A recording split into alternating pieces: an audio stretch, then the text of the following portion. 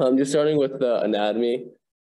So what uh, separates the, like what structure separates the upper and, and lower GI tract? That's, Distal duodenum.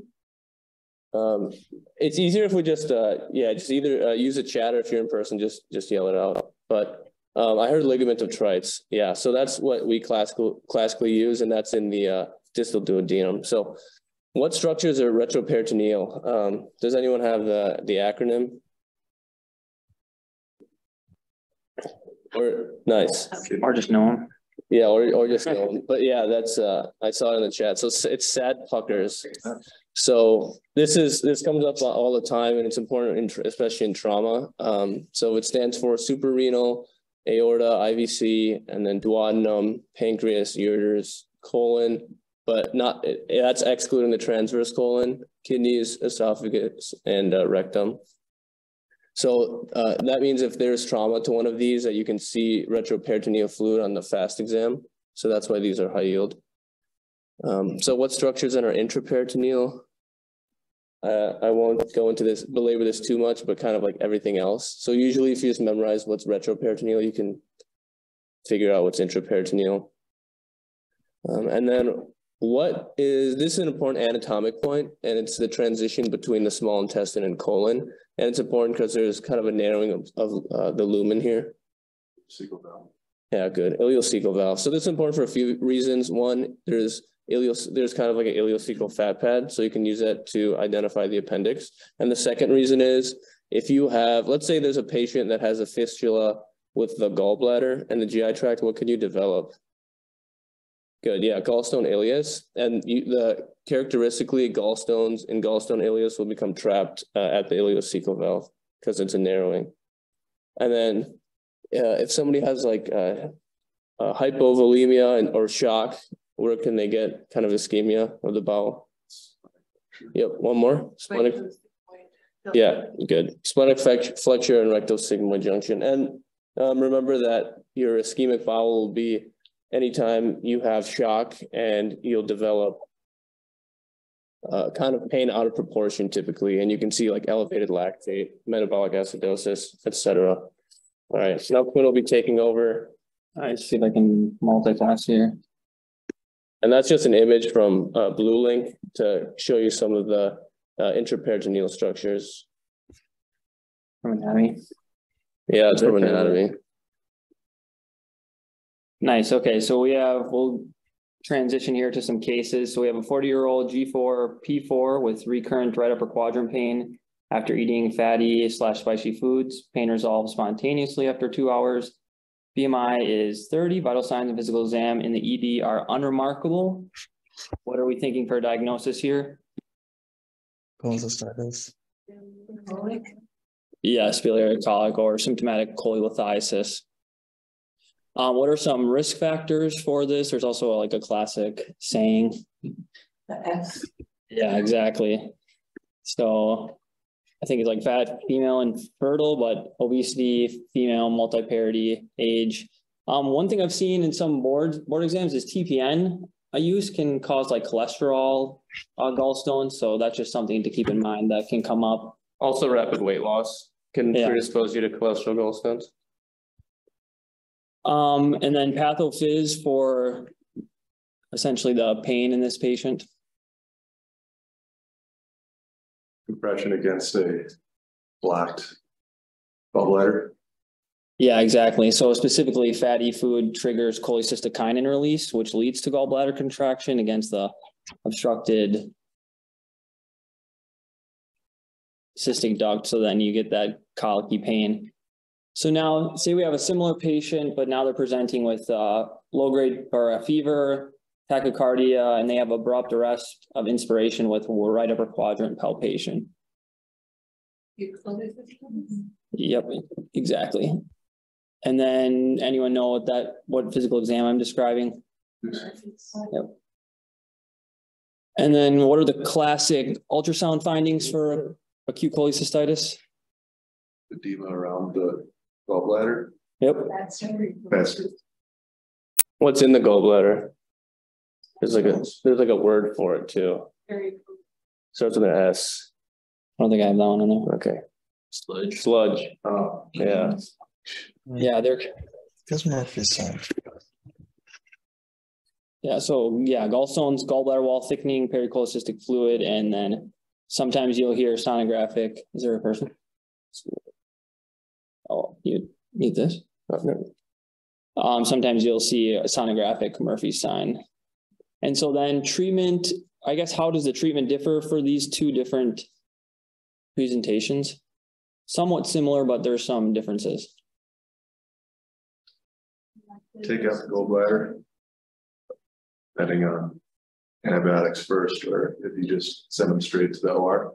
Yeah, yeah, so for biliary colic, you can do a- like an elective cholecystectomy, which you, what you might see as an answer choice, but then for um cholecystitis, you want to do antibiotic antibiotics first, like you mentioned, and then uh urgent cholecystectomy.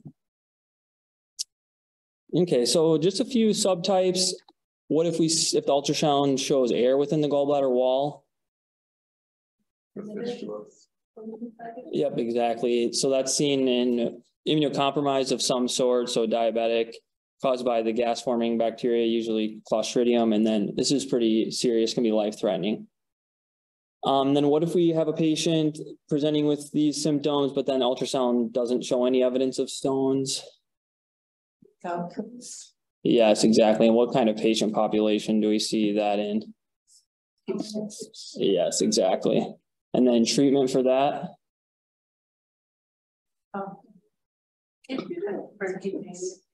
Nice, yep. So you can do antibiotics in surgery. A lot of these patients, as you mentioned, are seriously ill, so you can do a percutaneous cholecystostomy if they're not stable enough for surgery.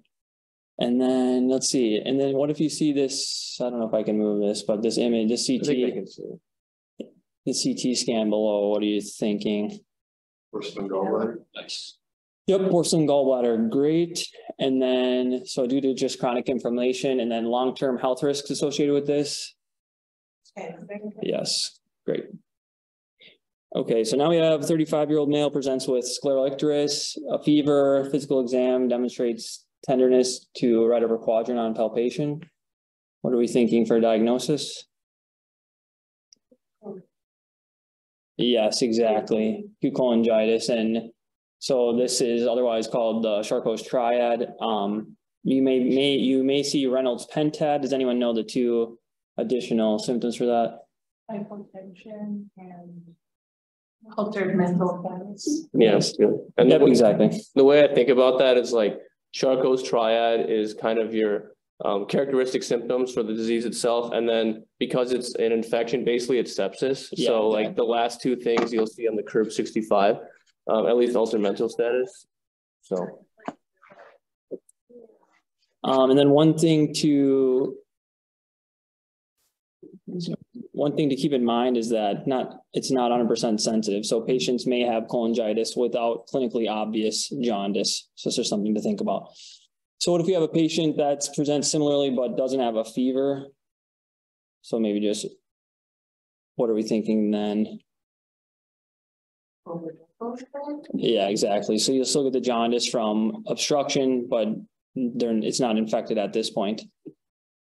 And then there's other causes of biliary obstruction other than stones. Um, anyone have any thoughts? Cancer. Yep, yep. what kind of cancer? Um, biliary tree cancer. Yes, Yep. Pancreatic, Yeah. yep, At what part of the pancreas?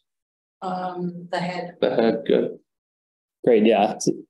Pancreatic head, yep, great. So that's pretty much all of them. Um, biliary stents, something to think about. Parasites, uh, Ascaris lumbricoides, something that you might see, but yeah, you named a lot of them. And then why do these patients have jaundice? The, it can't flow through the liver and get through the biliary ducts, so it's, it's getting, it's like backup. Yes, exactly. There's a specific kind of bilirubin that's getting backed up. Unconjugated. Yep, conjugate or direct, exactly. Um, and so that builds up in the liver and blood filtered by the kidneys, so you could also have dark urine as well. And then classic labs and imaging findings that you might see with this. Or to recognize it. use GBT. Yep, I see bilirubin, LFTs. Alk phos. Yeah. Yeah, so yeah, that's a great point. The cholestatic pattern, so alk phos is gonna be greater than the LFTs. And then ultrasound will show common bile duct dilation. It won't always show stones. That's one important thing is that ultrasound isn't very sensitive for stones themselves within the biliary tree. So it might not always show that, but it should show the dilation. And then treatment for this, ERCP. yep, it's one. Then something else you wanna do for infection? Yep, great. So you have antibiotics and ERCP to remove the stone, and then if they're having, if they have cholelithiasis present, then you can do the, followed by the cholecystectomy. Okay, so then some subtypes of biliary tract diseases. So if I can remove this again. Uh, you can just press minimize it on the top left. Oh, nice. And I just. I don't know, I don't know, it's not working, but there you go. I just gave away a bunch, so. Um, so, uh, we talked about this already. Mike already mentioned the gallstone ileus. So people with chronic inflammation, the gallbladder can develop a fistula. Uh, gallbladder enteric fistula that can lead to that. And then so you maybe already saw this already, but you can get what's called Mirizzi syndrome. So it's essentially uh, if you have something within the cystic duct that's extremely large, like a stone or a mass or a cyst or something, that can compress the hepatic duct. And then you can have essentially the external compression of the hepatic duct and you can present with signs of obstruction. So I wouldn't say this is the most common thing, but it's something to know. And then now we have a patient that had a cholecystectomy before, now presenting with like biliary colic symptoms. Ultrasound and CT don't show any evidence of biliary stones. And then a key thing is that the symptoms are worse with opioids. The mid one. Ampulla, the sphincter. Yeah. Yeah, great. So that's uh Jesus. It's a sphincter of Oddi dysfunction. And a key thing is that worse with opioids, that's like a really um, I guess high yield for this at least. And so then diagnosis and treatment for this sphincter of Oddi dysfunction. Yeah, manometry, great. And then treatment is uh sphincterotomy with via ERCP. Okay, so now we got a thirty-one year old G two P two with right upper quadrant discomfort and pruritus. What are we thinking for that? It's a little vague, but. Sorry, I can't, I can't. Yeah. Yep, primary biliary cholangitis, pathophys of this, PBC, nice. Autoimmune, yep. Yep, exactly. So intrahepatic bile ducts, autoimmune, that's a key distinction to have. And then I mentioned just kind of two symptoms here. Any other classical symptoms that you would associate with this? Yeah. Yep.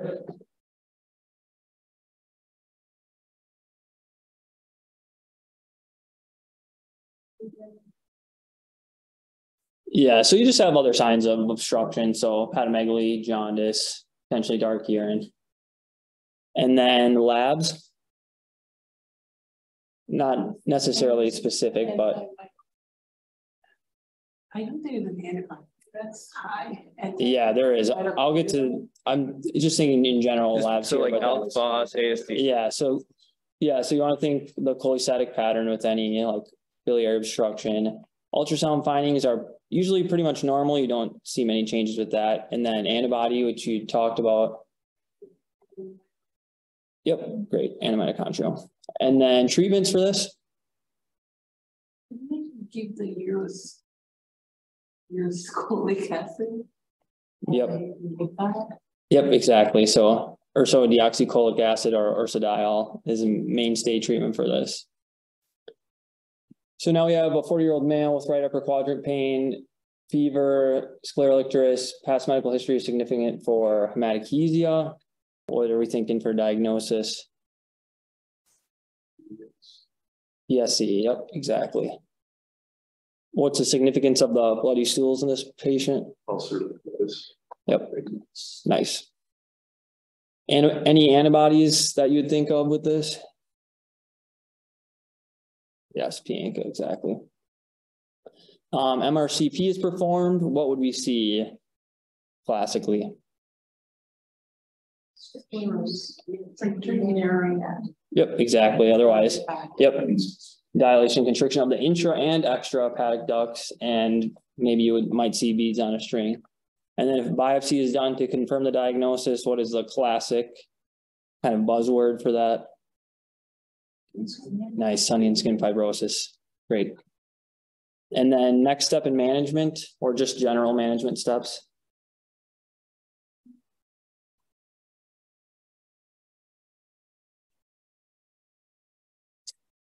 So what do you want to get on this guy in particular? Yeah.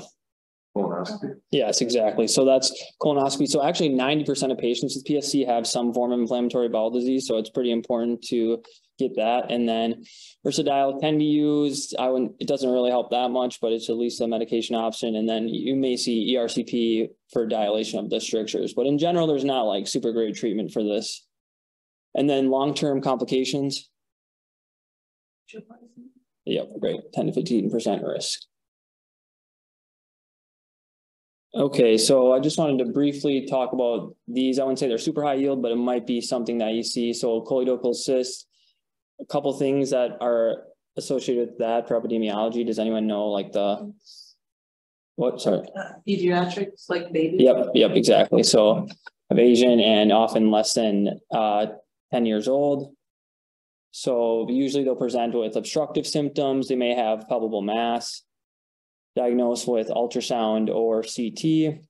And then you want to treat the, you want to remove these cysts because they, there is a risk of malignancy with them, so you don't want to leave them in. And then cholangiocarcinoma, so this is just a well differentiated adenocarcinoma. Uh, there's a bunch of different risk factors for it. PSC, liver fluke infection, viral hepatitis, liver cirrhosis. And then gallbladder cancer specifically is can be adenocarcinoma or squamous cell. And then risk factors are kind of a lot of the things that we talked about, essentially any chronic inflammation. Okay, so now we have a forty-one-year-old woman that presents with severe epigastric pain and associated nausea and vomiting. She has had similar episodes of pain in the past associated with fatty meals. What are we thinking for diagnosis? Yes, a specific kind of pancreatitis. What's causing the? Yeah, what's causing the pancreatitis? Oh, gallstones. Yes, exactly. Yeah. So it is good to try to, it's not necessarily huge for boards, but in terms of like rotations, things, it's good to specify when you can. So yeah, this person has acute gallstone pancreatitis. Um, any, the pathophys for why we, why this person's having pain with, with pancreatitis? Obstruction of the ampulla, like lower in the duct. Yep, exactly. And then so that essentially leads to just intrapancreatic activation of enzymes due to the obstruction, like we said, or in terms of like alcoholic pancreatitis, just direct, injury to the pancreatic acinar cells. Um, yeah, so what are some common causes of pancreatitis? I listed the two most common ones already, gallstone and alcohol. There's a couple. Scorpion bite, yeah. I've actually not, Scorpion seen- Acronym. I've never actually seen that, that question, but I've, No. I've heard it a lot of times. Yeah. Two mo, let's just go with the two most common first. Congenital issue like pancreas, pancreatitis. Something Yeah. like that. Yeah, Pancreas, divisivism or whatever. yeah, That's a yep, predisposing, yep. yeah. But yeah, I heard gallstones and alcohol. yeah, those are the big ones. We got autoimmune.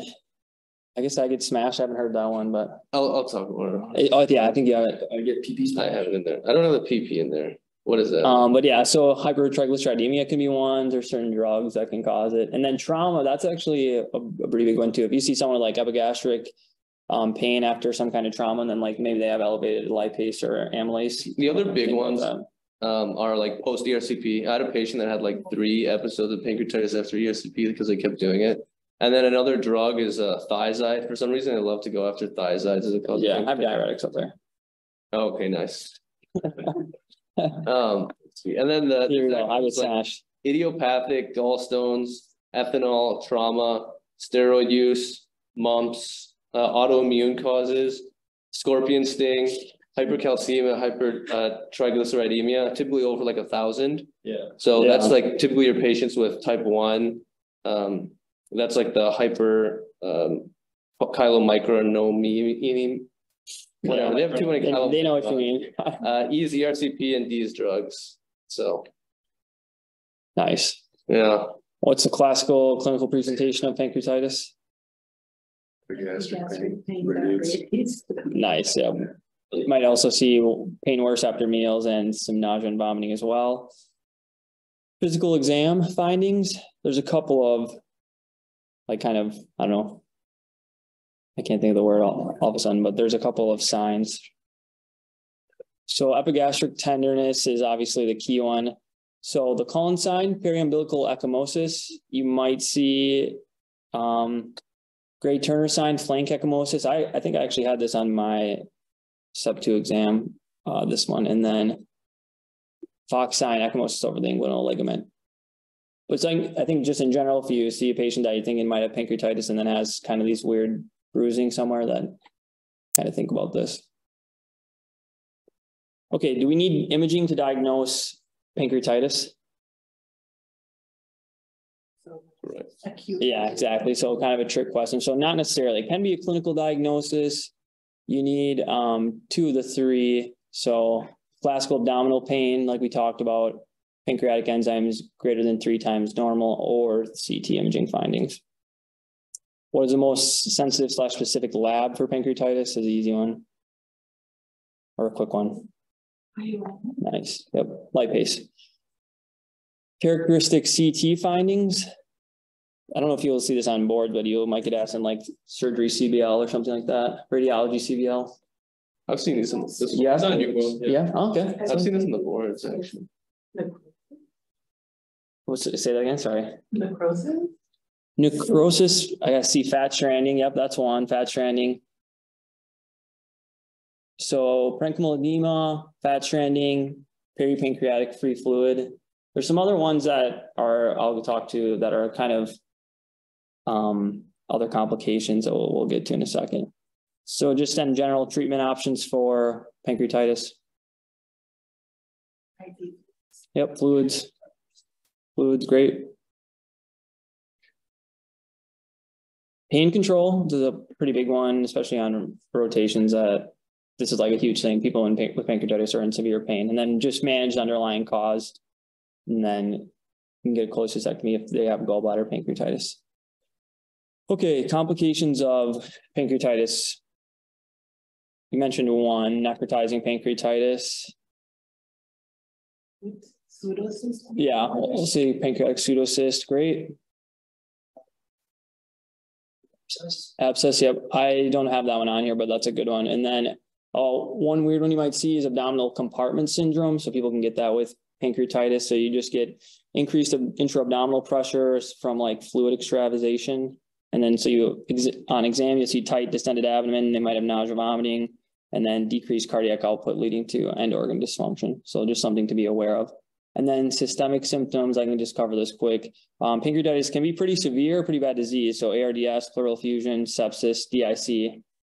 So not something to necessarily take lightly. I'm gonna say something quick about pancreatitis, just with, so a few things. So I, I heard BUN. BUN is the best predictor of mortality in pancreatitis. And that's because the main issue with pancreatitis is, uh, third spacing. Yeah, And then you can also get abdominal compartment syndrome because in these patients, you often have to aggressively fluid resus. And um, when you have that much fluid resuscitation, it puts them at high risk for abdominal compartment syndrome. So how do you diagnose abdominal compartment syndrome? Does anyone know? Ultrasound of the bladder? It's a, yeah, you take the pressure of the bladder. Good. Uh, yeah, nice. So these are just some images, just for general knowledge. So this is in kind of a normal pancreatitis. There's some adenocarcinoma in the tail, so not really normal, but the structure is normal in terms of looking at how it looks here. So pancreatic pseudocyst, this is what you would classically, this is a pretty large one, but what you'd see on axial CT. And then this is just a nice diagram of the kind of the fat stranding that you would see with acute pancreatitis.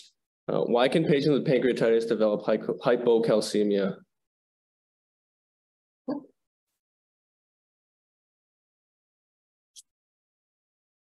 It's because you have, uh, it's actually not inactivated enzymes. You get acute fat necrosis. So you essentially get um, binding of calcium to fat in the pancreas. So a lot of times they'll like just give you like Chvostek sign or something, or they'll have like spasming in a patient with obvious pancreatitis.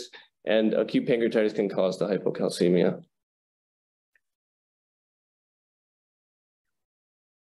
Okay, now we have a sixty-five-year-old man with history of significant alcohol use presents with recurrent abdominal pain, diarrhea, and recent night blindness. What do we think for this? Chronic pancreatitis. Yep, great, chronic pancreatitis. So, yeah, we just get chronic inflammation, autodigestion of the pancreatic tissue, and then leading to eventual fibrosis. Um, risk factors for this, kind of already covered that. It's pretty similar. Chronic alcohol use is the most common, no. Um, any, there's a genetic cause of chronic pancreatitis? Anyone have? Yes, yes, it's fibrosis, nice. What's the significance of the GI symptoms and night blindness in this patient? Um, Yeah, it's just like. Fat malabsorption. Yeah, There we go. exactly, and that's due to, so you also get exocrine enzyme deficiency, so then you get the steatorrhea and malabsorption of the fat soluble vitamins. I Already talked about diagnosis, CT, what would you see? What are some imaging findings for chronic pancreatitis? Nice, Benjamin. Same thing, like fat stranding. Um, atrophy, I see atrophy is a good one. Fat stranding, I would say, is less likely. So these are kind of the big ones, although someone that said atrophy, that's good. So calcifications is a really big one. You'll see that. And then pancreatic ductal dilations as well. Um, and then just some random pancreatic function tests that you might see. So fecal elastase, nice things, less than hundred equals exocrine insufficiency, and then direction measures, direct measurements. You can give like a CCK analog and secretin and then measure the enzyme levels because secretin should um, provoke enzyme release. There's a one more lab they like to go after. It's the D-xylose lab. So in a patient with chronic pancreatitis, will the D-xylose uh, testing be normal or abnormal? Does anyone know what that test does? I thought that was for, So they like to go after in chronic pancreatitis. So D-xylose essentially is, uh, you'll have the patient like drink um, a labeled um, substance that's D-xylose and it measures intest intrinsic intestinal absorption. And in patients with, with pancreatic dysfunction, the D-xylose test will be normal. But in patients with like uh, intrinsic malabsorption, like celiac disease, yeah, is what they like to go after. The D-xylose, they'll have, you'll see decreased absorption of D-xylose and that's measured through the urine. So they'll have decreased excretion of D-xylose through the urine. Don't you use the Whipple, Uh, Whipple, Whipple's disease? like a Whipple test? The Whipple test is different. Oh. Yeah, yeah, you, I think they use it for like small intestinal bacterial overgrowth too. Yeah, the SIBO. um, for SIBO, the main test, you can do a culture. Um, Yeah, but I'm saying I think that I've seen that. yeah, and, and then the other one, big one is the, um, lactose hydrogen test. And Oh, yeah, they'll- Yeah, that's the other big one. D-xylose mainly can differentiate between malabsorptive symptom, um, syndromes and, um, like exocrine issues with the pancreas. Or like you can, other, other set, you can say like primary intestinal malabsorption or secondary. Yeah, Yeah, For Because- primary is like structural. Yeah. Secondary is like enzymatic. yeah. nice. Okay, treatment options for chronic pancreatitis.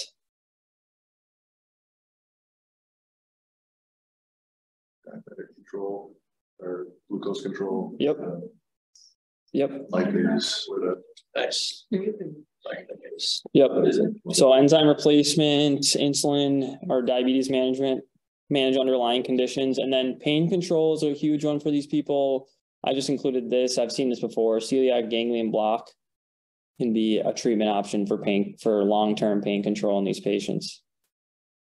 And then we talked about the, so yeah, I think we talked about all these. Okay. Something high yield too is that enzyme replacement for the pancreas, uh, helps with pain. Yeah. Um, because you aren't stimulating the pancreas as much to produce um enzymes. Got that question on UWorld yesterday.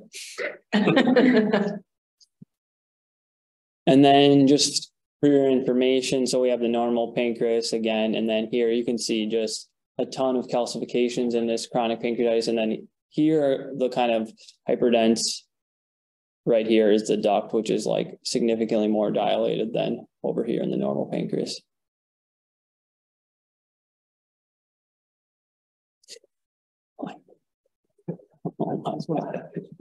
Okay, so now we have seventy-year-old female with a fifty-pack year smoking history presents to the clinic for routine checkup. Physical exam shows jaundice and a non-tender right upper quadrant mass. What do we have for diagnosis here?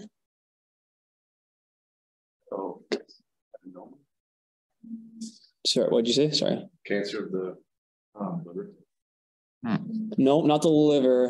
right, or Yeah, pancreatic cancer. So it's a little tricky, but I would say in general, like a big thing is painless jaundice is like a classic pancreatic adenocarcinoma. And then I'll get to the mass here in a second. Um, so risk factors for pancreatic adenocarcinoma. Okay. Yep. That was on the title. Yeah. So I've smoking history, obviously, chronic pancreatitis, high alcohol consumption, and then just increases with age. So classic clinical features, we talked about this. So painless jaundice, they might have epigastric pain, they might have just the systemic symptoms associated with malignancy in general.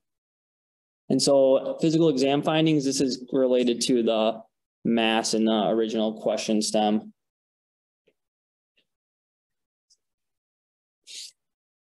I know, I know at least a couple of things. Like I said. So here's, it's called the, I don't even know, Corbusier? I don't even know how to say Corbusier. it. I've never heard it said, It's French. but, uh, It's a, it's a dead French I guy. can help you with that. French is my first language. okay, what, if- Courvoisier, Courvoisier. okay, nice. So there, that's a good. uh, Yo, I'm not saying. So it's, so it's that for everyone listening virtually. Me, I guess, just do PSG law. But so you get an enlarged non-tender gallbladder with painless jaundice. So that's the um non-tender right upper quadrant mass. You might also see uh Trousseau sign, so migratory thrombophlebitis.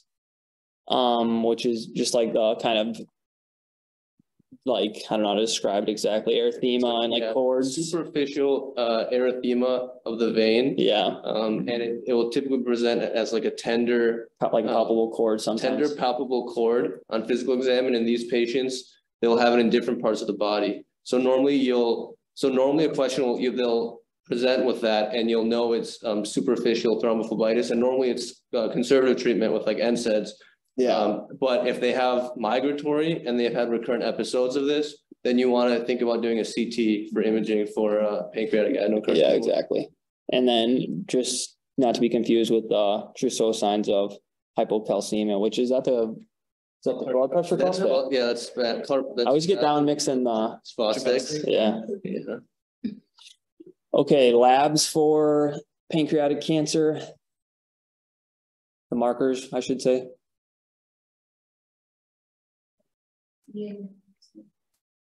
Good. Yep, CA nineteen nine, and then I also have CEA, less specific, but if you have to know one, definitely CA nineteen nine.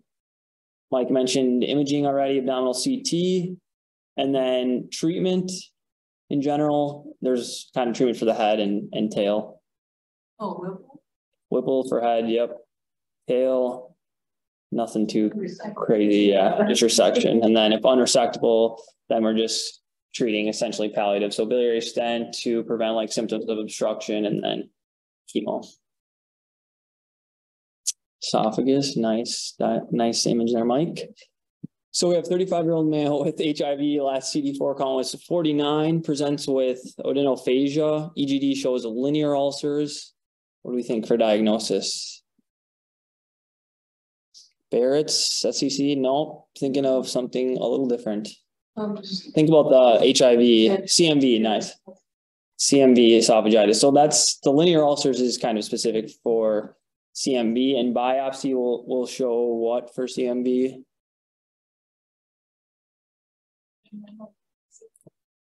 Mike's just Hawkeye, Mike. That was me, that. No, I know. Was say owl eyes, nice. So atypical lymphocytes, intranuclear inclusion bodies, the owl eye. And treatment for that, Yeah. yep, IV, cyclovir, nice. Mm-hmm. So now we have a thirty-five year old male, CD four count forty-nine again, but the EGD shows well circumscribed, punched out ulcers. Another virus. Yep,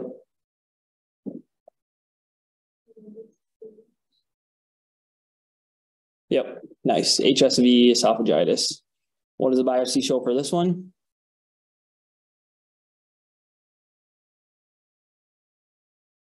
I would say it's not as um buzzwordy as the CMV one, but so we just have multinuclear giant cells, eosinophilic eosinophilic inclusions, ground glass nuclei. Treatment for this,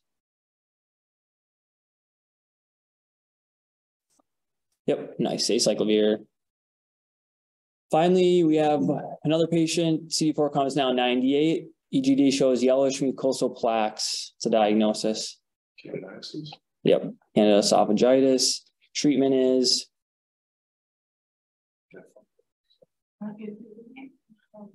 yep, antifungal specifically. Fluconazole? Yep, so azoles, fluconazole, voriconazole. You, uh, this is like the Nice nystatin rinse, right? That's So- for, that's for, for like oral- oral. But if you have, if you have like if it's, uh, Candida, if you have Yeah, yeah, yeah, yeah. you wanna take. if you have azoles. esophagitis, you don't use. But yeah, if it's just oral, you do the nystatin rinse, exactly. Can you also do the? I forgot the name. It's it's another kind of uh antibiotic.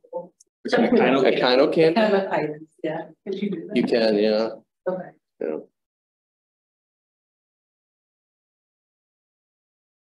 Okay, what do we have here? Sixty-five-year-old woman with recent diagnosis of osteoporosis presents with dysphagia and retrosternal pain. What do we think for this one?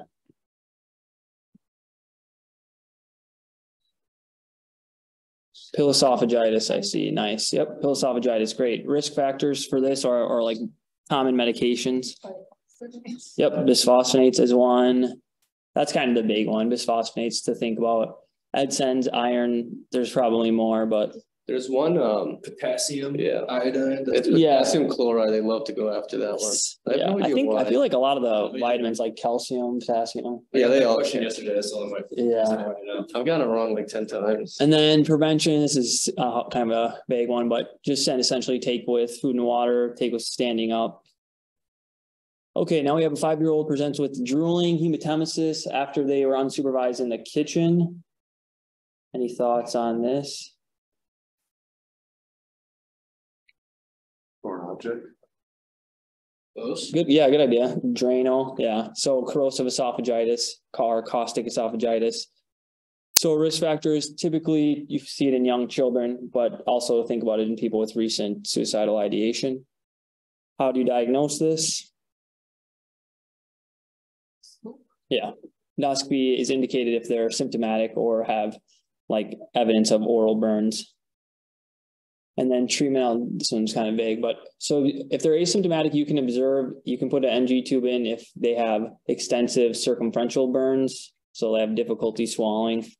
And then a key thing is you don't need, you don't use neutralizing agents or activated charcoal. It could be an answer choice. I think the neutralizing agent cause what heat? Yeah, it Yeah. causes like a reaction between Yeah, it, so you don't want. in like, Do that. Think about like in chemistry class when you mix them together and you get like those, what is it? Every reaction is exothermic, but like one, you know what I mean? They always say like, you, every textbook you read will say, don't play chemist. You know what I mean? You're in medicine, don't be a chemist. You're not Walter White. Yeah, just water. Yeah. You can't put anything else Yeah, you just use saline because we're fancy, but. And then just general complications, nothing too crazy. Operation. Yep, esophageal perforation or, and then respiratory compromise is something to think about. Okay, so now we have a twenty-one year old UW Madison student is out last night for their birthday, multiple episodes of vomiting. Now with severe retrosternal pain, crepitus is palpated. I should say on the chest. Perforation. Yes, exactly, perforation. So esophageal perforation may see Boerhaave syndrome. Um, another common cause is uh recent upper endoscopy, so iatrogenic. So also consider this in patients that had recent upper endoscopy. Um, imaging for this, what would you, what are some options or what you would see? I guess it's not very clear, but See with, um, water soluble contrast. Yeah. nice, yeah, so that's a. So I thought, yeah, yeah, contrast esoph- esophagus, I can't even say it, but that's the gold standard. Gastrografin over barium when you suspect perforations. And then the chest x-ray might show widened or pneumomediastinum, which is related to the crepitus that we talked about. What treatment options for this? Repair. Repair is one, um, but actually you can management conservatively initially. So if they're hemodynamically stable, you just NPO obviously, PPI and then IV antibiotics to prevent infection, but you can use, you can do surgery if they're hemodynamically unstable. So something to consider. Now we have another similar student, yeah, several episodes of vomiting. Notice hematemesis with the last episode. Severe retrosternal pain, no crepitus or sub-Q emphysema on exam. Mallory with- Otherwise, Yeah, nice, Mallory-Weiss. Yeah, you, what? What did I do? I think you added some things that I didn't, I was like, what? Um, and then test for this, So yeah, that, there you would use a scope. Whereas the perforation, there's risk of like worsening it if you use a scope. And then, so treatment for this one, Conservative. Yeah, conservative. So antiemetic if they're still nauseous to prevent further episodes of vomiting and then PPI. Okay, now we have sixty year old with halitosis. Barium esophagram is shown below. What do we think for diagnosis here? Diverticulum. Zenker diverticulum, yep. Pathophys for that. Fine. The, the muscle has an issue and then you have a defect. Yes, exactly. So like the thyropharyngeal, cricopharyngeal parts, pharyngeal constrictors are some buzzwords that you might see. And That'd then, be False. What? That'd be- that'd be Yeah, it's false. yep, What's a true diverticulum? What's a, Everything. Yep. what, uh, do you have an example of one? Meckel's? Good. nice, yeah. It's a big one. That's the big one. Yep. That's the only. And then treatment for this.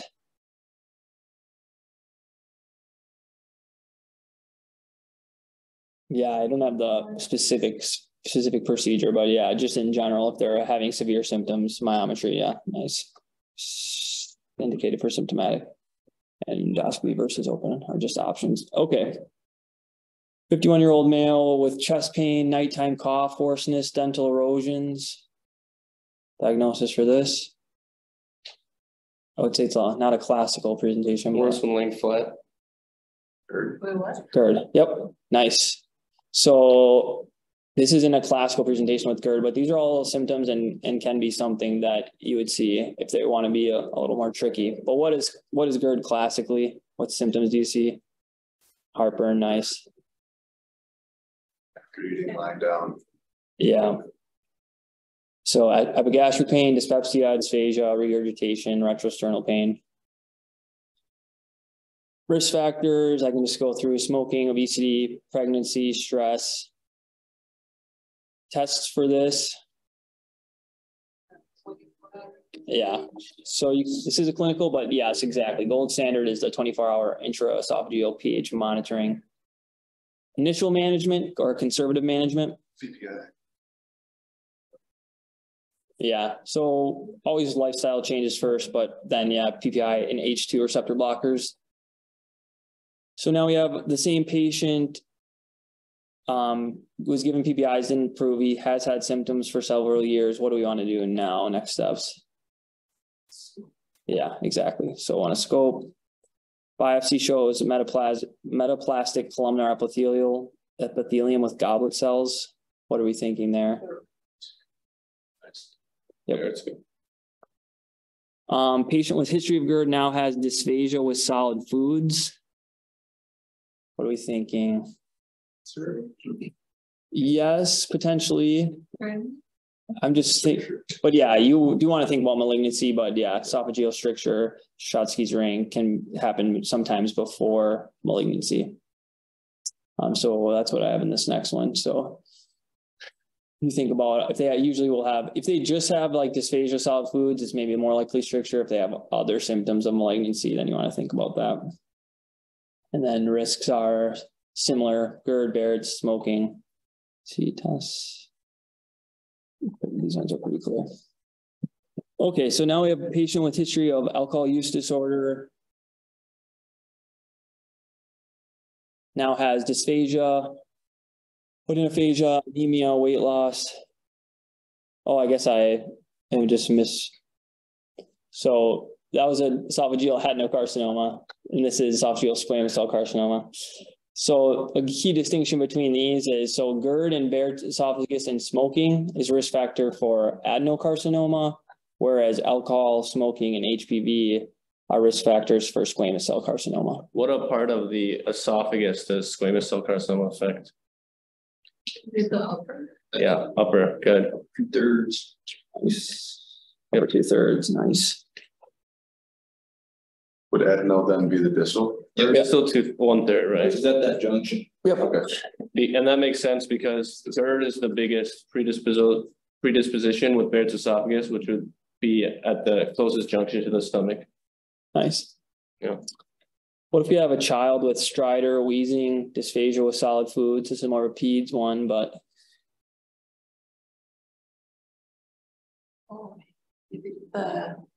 Tracheo, TEF, yeah. that is a That's more like possibility. coughing up, that's like Yeah. hypersecretion. That's early. Yeah, Okay.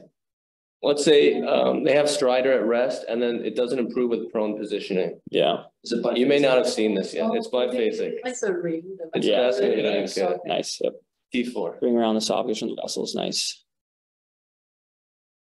Okay, some imaging stuff here. So we have fifty-one year old with a history of severe GERD. Imaging is shown below. What do we have for diagnosis here? It's a little tricky. I don't, I haven't seen many of these. It's a good picture. What's the, uh, Mm. What do you see at the top? Yeah. Look at kind of like this. Hiatal hernia, nice, yep, so. Here's kind, of, this is like part of the stomach. And it's kind of pushing in here, so hiatal hernia is like a little bit, if the whole part of the fundus goes through, then you, what's called paraesophageal hernia. So that's something to, to think about. Oh, I guess I wrote that here. Paraesophageal hernia.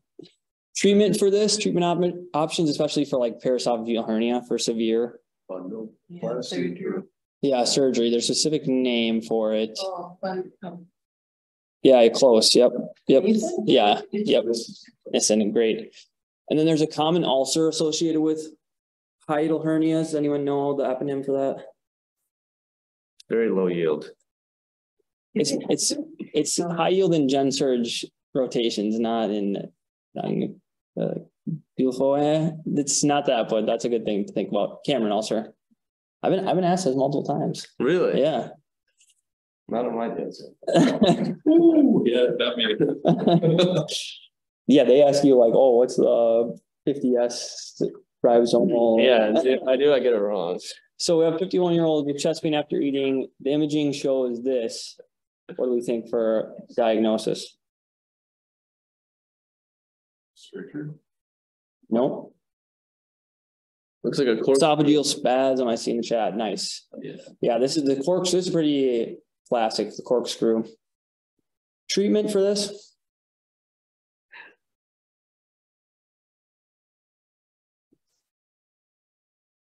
So small meals in general, nitrates, calcium channel blockers, Botox, and then more invasive like dilation and surgery are options. Yeah, you wanna relax the smooth muscle. That's one way to think about it. And then uh th- these patients will usually present with like uh retrosternal pain following like stress or anxiety and stuff like that. Yeah. Yesterday. Dude, it's all, it's it's all. Just getting cla- classic questions. Dude, it's all classic. I haven't seen I those didn't in name the years. yields for nothing. Yeah. the question wrong. Fifty-one year old with progressive dysphagia to solids and liquids. We see this esophagram. Oh. Achalasia, I see in the chat, nice. Pathophys, Deletion of Like. The tightening of the muscle of the. Yeah, the LES is like the twenty. What, what Yep. kind of neurons do you lose? Oh, vagal dysfunction, Do you lose stimulatory or inhibitory neurons? Inhibitory. nice, yeah, so an atrophy of inhibitory neurons. Treatment, I have treatment for this, Into my eye. Yeah, resect the. yes, Neurons. I mean, That's I'm- not the, that's not the first, but it's, you, first you wanna, similar to esophageal spasm, so try to relax it. And then you can do, this is a pretty like morbid for surgery, so you can do like Botox. yeah, so it wouldn't be the first thing that you would wanna do, but it is an option. The other thing is sometimes on the shelf or like on the NBMEs, they'll like to ask about diagnosis. And you may think you can diagnose it like clinically, but a lot of times you want to get a scope because you want to rule out pseudoachalasia. Or Oh, like yeah. adenocarcinoma or something like that. So Yeah. usually you want to get a scope in these patients. Sometimes they ask about uh, associated infection uh, with achalasia. Oh, is uh. Tag. Chagas, there you go, nice. Sometimes they ask that. Nice. So woman with significant alcohol use and severe knee arthritis presents with epigastric pain and dyspepsia.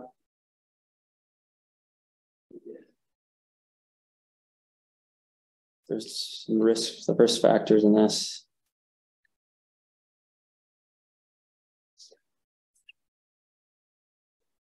Okay, acute gastritis. So, um, Risk factors are alcohol use and NSAID use, which is what I was getting at with the severe knee arthritis. Um, so you want to treat that with cessation of the offending agent, try some PPIs and then work up further if needed. So now we have a fifty-one year old woman immigrated from Mexico six years ago, presents with epigastric pain. Trial PPI provides limited relief. This is kind of similar, but H. pylori gastritis. So, so they can, there's different kinds of, of gastritis, different causes. Um, and then the H. pylori gastritis is classically in the stomach antrum. So something to think about. Tests for H. pylori. So, You do this too. You can do a stool antigen. Yeah. There's the breath test or. yeah, I- that's what I had. I had a urea breath test, but yeah, the stool one, and then you can do EGD as well. EGD and biopsy, exactly. Treatment for H. pylori? Yeah, there's, So, I have the three, so So- there is a four, I think yeah, there's a there's the four. triple therapy. You want to show the triple therapy? Yeah, this is a triple, so PPI, amoxicillin and macrolide. So there's triple therapy, and then if they're allergic to amoxicillin, there's quadruple therapy. Mm. What do you replace? What antibiotic do you use in quadruple therapy and what metal do you add? Does anyone know? You said bismuth?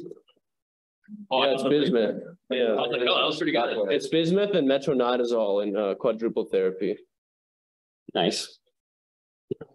So we have a fifty-year-old woman with epigastric pain, exam demonstrates peripheral neuropathy, anemia, MCV of one ten.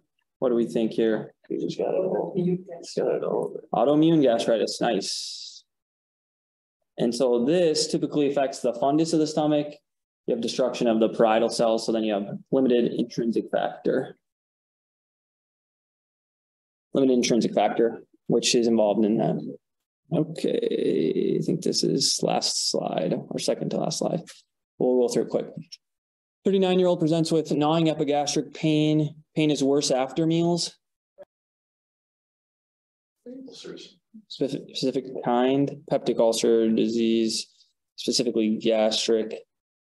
Risk factors for that, H. pylori and NSAIDs are the big one. Test EGD, um, biopsy more necessary, um, in gastric ulcers because they have a higher risk of malignancy. So what if we have a patient with epigastric pain, but pain improves after meals? Yeah, exactly. So that's a big thing to differentiate them. And then This is more often associated with H. pylori, but lower risk of a malignancy. What if we have gnawing epigastric pain? EGD reveals multiple jejunal ulcers. This, Yes, nice, great. So you get hypergastrinemia, stimulation of parietal cells, increased acid. So key thing, jejunal ulcers are, shouldn't happen, shouldn't be that distal. So if you see that, then you know something is definitely wrong. Serum diagnosed with serum gastrin greater than a thousand, and then you might see secretin stimulation tests. So normally secretin should inhibit gastrin, but in this case it wouldn't. Patient with severe burns is admitted to SICU. The resident forgets to order routine meds. Patient now with hematemesis. Thoughts on this one? So curling ulcer, um, stress ulcer, I guess. So essentially you get this with severely ill patients, decreased plasma volume. So then you have hypoxic tissue injury. So you want, that's why you give PPIs in, in burn patients. And can't you see those just in any sort of severe disease state? So curling ulcers specifically like burns. Oh. Um, so it's like, you think of it as a curling iron, is a burn, so you get the curling ulcer. And then there's a, there's this next one too, that's like, so, so basically in patients with burn, I have this in a later slide that we might not get to, but you wanna give them prophylactic PPIs. Yeah. Oh, yeah. You know, I have like a burn treatment layout thing, you know what I mean? Like I have a slide on it. Anyone know this one? Cushing ulcer, nice, yep. Pathophys of this. so essentially with the head injury, you get increased of vagal stimulation. And then that leads to more stomach acid via acetylcholine release, release, which activates parietal cells. And then someone mentioned this before, Dieulafoy lesion. So I can just go through that abnormally large artery in the lining of the GI system. And you might see this on EGD, and this can cause life-threatening hemorrhage in patients that have this. And you remember Cushing also because you want to cushion your head when you fall.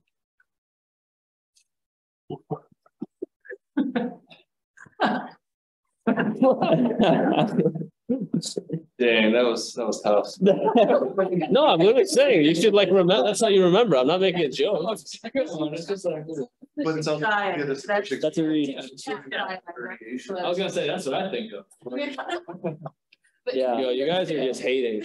Let's move on, let's move on, let's move. Okay, so a seventy-year-old male presents with epigastric pain, weight loss, early satiety, supraclavicular lymphadenopathy is palpated on exam. Hemoglobin ten point five.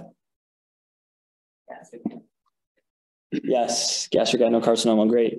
What are some risk factors for this? Japanese heritage. That's what I'll keep. Yeah, Something comes to mind. yeah, that's a big one. High salt diets, nitrosamine, yep, exactly. So processed meat, tobacco, H. pylori, and then also uh, autoimmune gastritis can predispose you to that as well. Some physical exam eponyms. One is this patient has. Just some things associated with They're related to the lymph nodes. the physical exam findings. Yeah. It's What would you call like, Uh, like, That's a name. It starts with a V. yep, Oh, very, very. Yep, Virchow's node, so that's the supraclavicular nodes, and then you might see sister, sister Mary Joseph nodule, which is a periumbilical nodule, which is indicative of gastroadenocarcinoma. Tests for this patient? Yep. And then treatment? Pretty,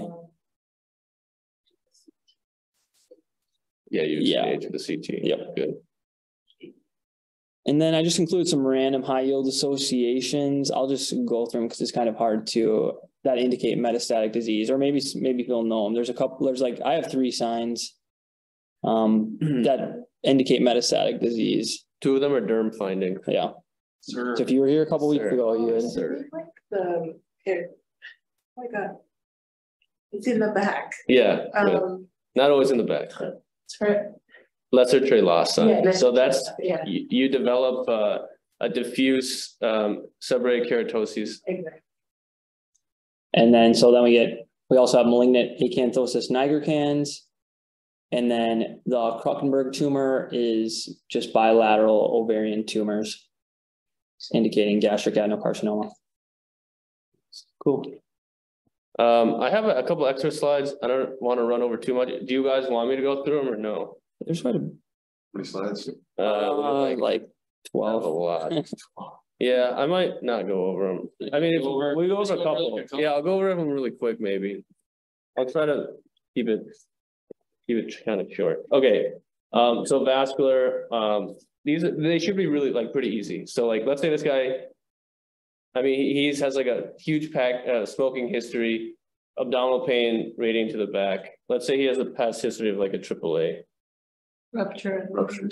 Yeah, so AAA rupture. So what age do you normally screen for AAA? Sixty-five, good. Risk factors, uh, went over them. Smoking, indications for repair, what size? Does anyone know? Five. Yeah, five and a half centimeters, or if it's rapidly expanding. What neural complication you get with the ruptured AAA? Um, it's like a specific part of the spinal cord will be ischemic. Oh, yeah, like Anterior, posterior? anterior. Anterior, good. And then what GI complication you get with a AAA rupture? We talked about this earlier. Oh, like uh shock. Shock, yeah, so you get ischemic bowel. Good, okay, so uh peripheral artery disease, what symptoms do you get? What's like your characteristic? Cla- Claudication, good, so patients will be like, I can walk like one half of a block and I get to this mailbox and then it hurts. It's chronic. And it's chronic, and it doesn't improve with like leaning forward. All right, and then treatment for PAD, I mean, it- there's a, it's graded, so you do graded exercise, which does not improve mortality, smoking cessation, dual antiplatelet therapy, and then cilostazol. Dual antiplatelet therapy can improve mortality because it decreases risk of MI. Cilostazol is um, is purely for um symptomatic benefit. Okay, where are ulcers located in PAD? Artery. It's the most distal area, so the distal toes, and then you can have risk of uh, gangrene and severe PAD. And then aortoiliac triad, either know or you don't kind of thing. Impotence, claudication. Okay, you all know it. Um, so, uh, so buttock claudication, impotence, decreased femoral pulses. Uh, those are the days doctors used to smoke cigarettes. Uh, okay, um, this one is the derm one. So you'll see this in like all your patients. What is this? In, in the hospital. Gators. Yeah, venous stasis dermatitis, and then it's because of venous insufficiency. Um, I won't go over that. And then where do you usually get ulcerations with, uh, Even the medial. medial Yeah. malleolar is good. And so in uh, venous insufficiency, you get medial malleolar um, ulcers. And then treatment, usually, you know, you'll hear this a lot, compression stockings. And then you can, how do you confirm your diagnosis of this? Of what's causing this? Don't overthink it. Maybe. I- What imaging do you get? Do you ultrasound? Yeah, duplex ultrasound, good. And you'll see reflux. Um, okay, let's say a patient after a endocrine surgery like thyroidectomy develops like a neck mass, difficulty breathing, what do they have? Right, Neck right, out your world right there. No, dude, I, I came out, no, dude, I came out. Yeah. Uh, what, well, what caused it? Okay, this one actually might have been. It's because of institutional stasis. Um, okay, we'll just, um, what are other other complications of thyroid surgery? Hypocalcemia.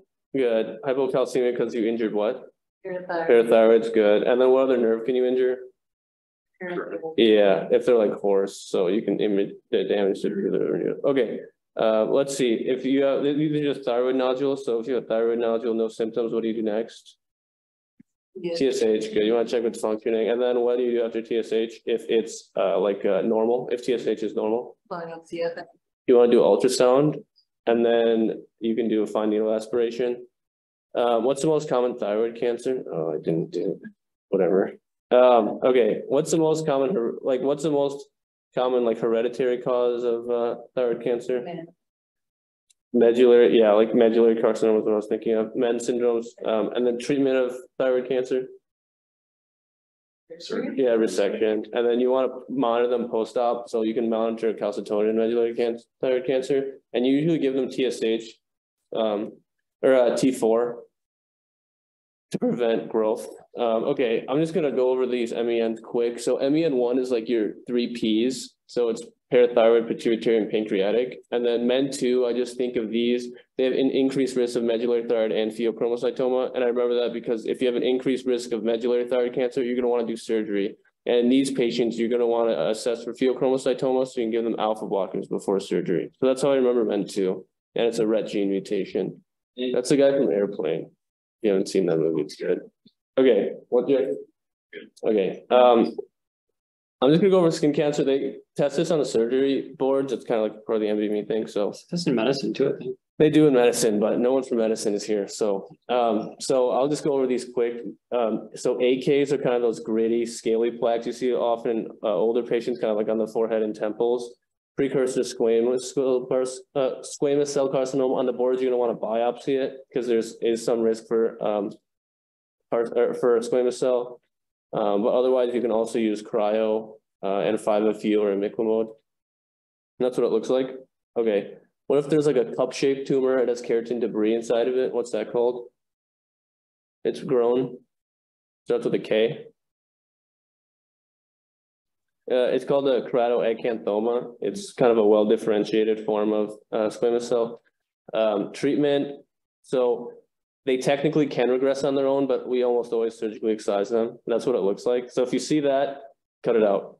Okay. Uh, all right, so basically, I, this slide is just so I can show you how to distinguish squamous cell and basal cell. So squamous cell is like scaling and it's erythematous, and basal cell is pearly and has telangiectasias, which are blood vessels. Squamous cell, one you might see in your surgery shelf, is um, you, in like chronic scarring and with chronic scars, wounds, or like burns. You can see something called a Marjolin ulcer. So if somebody has like a uh, continually non-healing ulcer that's like painful and they've had a long-term injury there, you're gonna want to biopsy it because it could be squamous cell carcinoma. All right, and then basal cell carcinoma looks like that. You'll see telangiectasias, and it'll be more pearly. There's usually not an overlying scale. Um, melanoma, you just want to know that you're gonna want to do a wide local excision. And what's the most important thing for uh, prognosis in melanoma? Depth. Depth, Breslow depth. And usually after how many millimeters do you want to do a sentinel lymph node biopsy of depth? Usually what I've heard is one millimeter of depth. Okay, good. Um, okay, burn. So I'm just gonna have this here. You can pause it on the recording if you want to see it.